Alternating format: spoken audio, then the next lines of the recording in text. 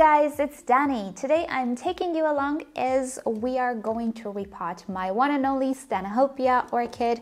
This is the Stanhopea wardii that I have for almost a couple of years now and it is time to repot it. I see there is a lot of algae deposits on the sphagnum moss. The orchid herself has started to reach the edge of the basket. It's kind of not fitting anymore. So it's the perfect time to repot it since I do see root tips growing at the bottom of the basket as well. But we are not going to repot it into a wooden basket anymore. I just found a wire basket with some coconut fiber lining at the flower shop and I thought this would be great for my super big Stanhopea, well, super big to be. The reason for the change is that quite a few of you along the years who have more experience with Stanhopeas than me told me that while the wooden basket is okay, sometimes if you don't see it in time, the flower spike can actually get stuck in between the pieces of wood.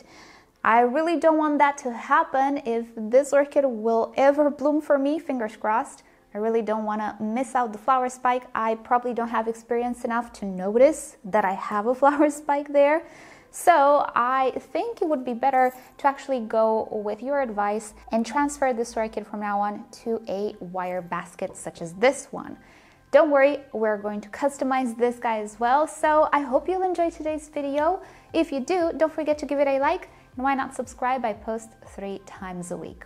Alrighty, first and foremost, we need to unbasket this orchid, which can be slightly dramatic because roots attach to wood quite a lot and I'm pretty sure we're gonna have quite a bit of root breakage. So because of this, it is important to perform the repot when the orchid is actively growing new roots which it does right now. So the transplant shock will not be so, so intense because I already have brand new roots on the way. But yeah, I will warn you now that I do believe we're gonna have quite a bit of root breakage, but good timing helps. Okay, so I actually need to find my tray. All right, here we go. So first, let's remove the hook.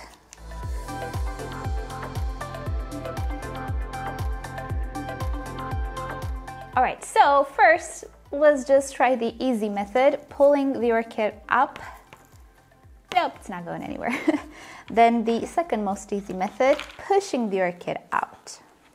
Ooh, there are quite a few roots. Okay, so how I will go about this is I am going to try and gently, as much as possible, detach these roots. Hmm, they're actually detaching. Now, if your finger doesn't really fit, you can definitely get the back end of a spoon or a fork and you can do this. And wouldn't you know it, they actually detach pretty okay. Maybe we're not gonna have a lot of breakage. Okay, so let's see if that helped. I'm actually trying to pull on the older pseudobulbs, not the newer growth. Uh, no, all right. I think I have a different solution. I will try to pry apart the roots from the sides of the basket. Which again, is pretty easy. Oh, okay, things are starting to become wobbly. Do you see? That is good. There we are. I just needed a bit of leverage.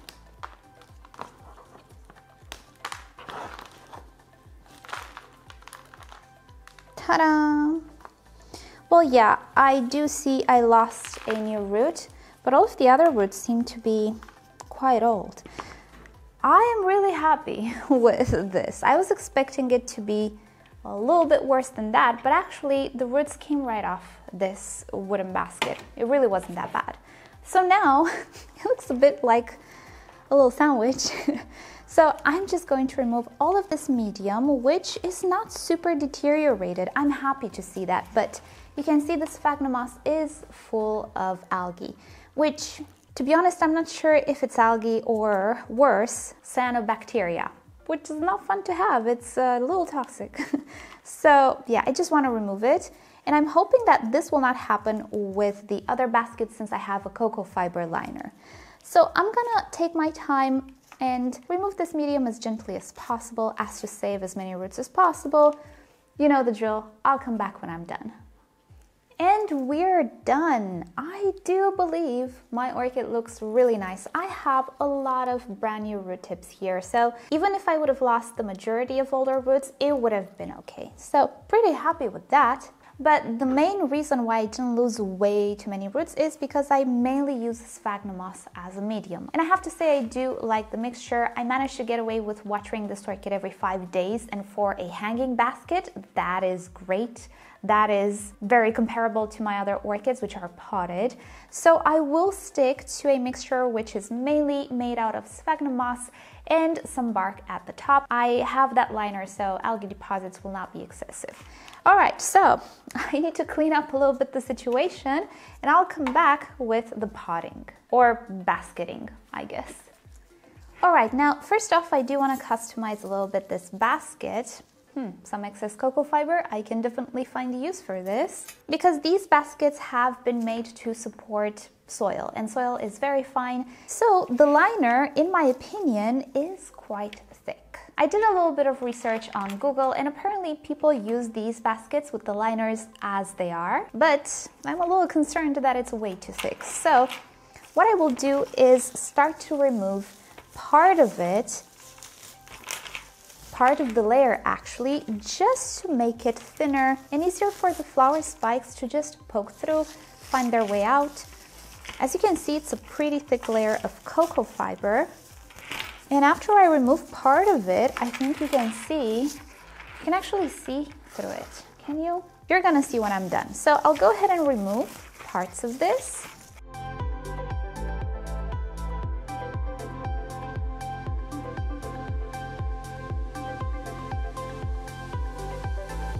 All right, look at that.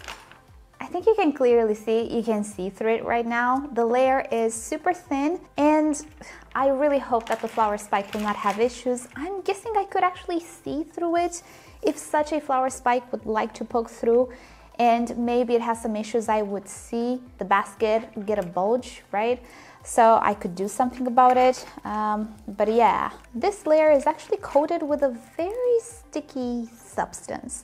I read on the internet something about latex coating. I thought latex would be visible. This is absolutely not visible, but definitely it's a little bit sticky, so that's a little worrying. But at the same time, there are quite big spaces, and if the flower spike is thin enough, it can definitely poke through. Like my finger can poke through as well, it just is a little bit too thick. Am I worrying too much? I might be worrying too much. All right, so let's start potting. I will, as I was saying, place quite a lot of sphagnum moss. It will be very, very airy. I'm not gonna compact it. I will mix it a little bit with bark just for some fillers because look at this it's a it's a very big basket so I will mix it with a little bit of bark as well but still have a nice fluffy mixture here even if a flower spike makes its way downwards, it's not enough bark to damage it in any way. I'm also using pretty small grade bark, so look at this. It's so fluffy. Perfect. Where's my orchid? So my orchid has two directions of growth, one here and one here. And the older side is right here. I'm gonna be sure to place this towards the edge of the basket and the newer side towards the center. In this way, I'm gonna gain more time in this basket. So let's continue arranging the medium around the roots. And by the way, the size of the basket absolutely does not matter. Even with pots, if you know very, very, very well how to work with the medium you have and how it interacts with your environment, size does not matter. It matters because it takes up space. The only reason we care about size is because the bigger the pot or container, the more water it can retain. But size is not the only way to limit or to improve water retention. The type of medium used is what I believe the most important. If you are going to fill up a pot with sphagnum moss and moreover you're going to compact it so you overfill it in a way with sphagnum moss, yeah, that pot will stay wet forever. But if you make your mixture very, very, very fluffy, or you're using non-water retentive materials such as bark, charcoal, and other things that really don't retain water, You can put them in a big bucket and they will not stay wet forever because they don't retain water. Water just runs right through them. Whatever they can retain in between them and in the air pockets, that's however much they will hold. They will not hold water in their structures. Now I'm referring to fresh bark here. Old bark, degraded bark, that's gonna retain water, but at that point, you don't wanna use that bark anymore. Okay, so I'm gonna go ahead and play with the layers of bark and moss until I reach the top or very close to the top. And I do believe this will be the last layer of sphagnum moss. After this one, I'm gonna top it off with bark. So on this layer, I will add my slow release fertilizer. And being that in hanging baskets, the medium doesn't really stay wet for long periods of time, the sphagnum moss tends to not really degrade all that fast. The medium that I just removed was pretty okay, minus the algae.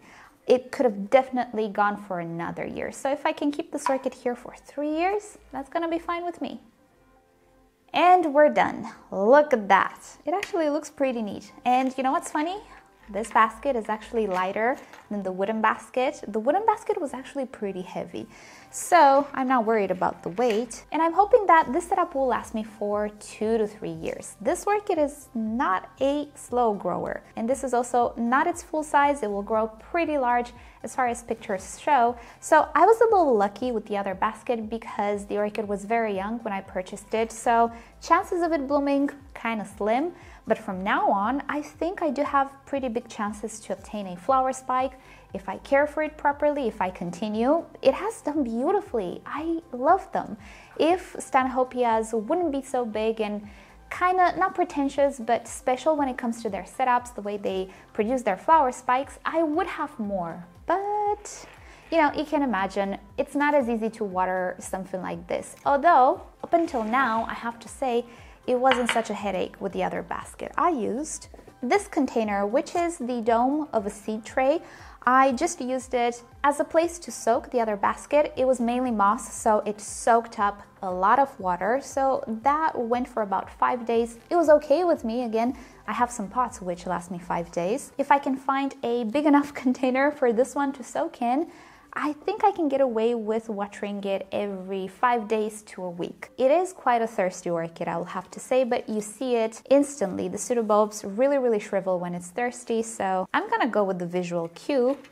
And man, I really, really hope that this liner is thin enough for the flower spikes to make their way through. And here she is. This is where I used to keep her. I will have to say, now that I watered it, it's a little heavy. Gives me the heebie-jeebies. I will probably hang it somewhere else, not on my curtain rod. I do still have that IKEA hanger. Well, it's made for clothing. I'm gonna use it for her probably. But anyway, another thing that I did was just make some cuts in the liner particularly towards the base, just because it felt like it was pretty tough. I just want to make it a little bit more loose, and now I do believe it's very, very loose. So hopefully this will be okay for the flower spikes. Let me know what you guys think. If you have experience with these types of liners, um, if you did what I did, how did it work out for you? I'm curious to know. But for today, that's about it. Thank you so much for hanging out with me. And I hope you've enjoyed this video. I shall keep you up to date, fingers crossed. We're gonna have some blooms soon because I hear they're amazing. Subscribe to my channel for more orchid videos, tutorials, experiments, updates, and other fun orchid subjects. If you wish to support the channel, do consider becoming a member or visit the merch store linked down below in the description. You can also follow me on Instagram and Facebook. It's always nice to stay in touch there as well. And I'll see you next time. Bye!